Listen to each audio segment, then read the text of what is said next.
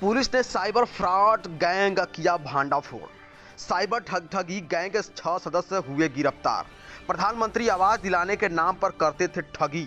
सरकारी योजनाओं में सब्सिडी, लॉटरी निकालने का लालच देकर करते थे ठगी। बताते चले कि चार लाख तिरासी हज़ार रुपए, तीन बाइक, दस मोबाइल, सत्ताईस सिम कार्ड, दो तमंचा व कारतूस को बरामद किया है।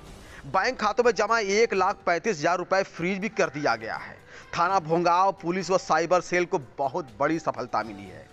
पेश है हमारे संवाददाता की एक खास रिपोर्ट। रुपेश और इंस्पेक्टर भोगांव ने एक मिल करके एक साइबर फ्रॉड की गैंग को पकड़ा है। इसमें छः लोग पकड़े गए हैं। एक इसमें जो दीपक है, सचेड़ी कानपुर का रहने वाला है, इसका सरगना है। इसके साथी जो पकड़े गए हैं वो अमित पंकज रविंद्र नीरज और विकास हैं। थाना भोगांव में एक मुकदमा पंजीकृत हुआ था, जिसमें एक बाबू राम है, जिन जिन्होंने जिनसे प्रधानमंत्री आवास योजना के तहत आवास दिलाने के नाम पे उनसठ हज़ार दो सौ रुपये इन्होंने ठगी की थी और एक अकाउंट में डलवाया था। उसके बाद इनको जब पकड़ा गया तो इन्होंने पूरी घटना का पर्दाफाश किया है। और जो फर्जी अकाउंट हैं, उसको हम लोगों ने ट्रेस कर लिया है। और जो जिस सिम का यूज़ करते थे उसको बरामद कर लिया गया है। साथ ही इनके कब्जे से चार लाख तिरासी हज़ार रुपये नगद, एक लाख पैंतीस हज़ार रुपये इनके विभिन्न खातों में हैं। जो जो दूसरे जगह से ठगी किए थे, उनको, उनसे जो इनके खातों में आए हैं, उनको फ्रीज कराया गया है। इनके कब्जे से तीन मोटरसाइकिलें बरामद हुई हैं, सत्ताईस सिम किट बरामद हुई है, दस ऐसे सिम बरामद हुए हैं जो जो ये विभिन्न लोगों को के साथ ठगी करते थे और दो के पास असलहे और कारतूस बरामद हुए हैं।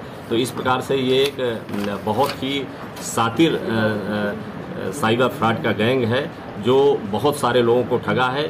ये इसमें से जो हमारा यहाँ मुकदमा पंजीकृत हुआ था, उससे संबंधित सारी चीज़ें बरामद हो गई हैं और इसमें कुछ और लोगों के साथ इन्होंने ठगी की है, जो लगभग छः लोग संदिग्ध नाम बताए गए हैं, उनको भी हम ट्रेस कराए रहे हैं। बाकी 36 ऐसे मोबाइल सिम बरामद हुए हैं, जो इस गैंग से जुड़े हुए हैं, उनके बारे में भी हम अभी डिटेल से जानकारी कर रहे हैं। तो एक बड़ी सफलता है, जो साइबर ठगों का एक बड़ा गैंग को हमारी पुलिस ने पकड़ा।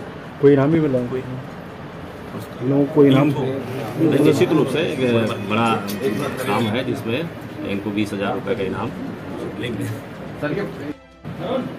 फर्जी सिम के बारे में जो इनको जानकारी में आया है कि कोई भी आदमी अगर अपना मोबाइल को सिम को पोर्ट कराना चाहता है दूसरी कंपनी में तो ये छाता लगा करके रोड में बैठते हैं। इनसे बहुत सावधान रहने की ज़रूरत है।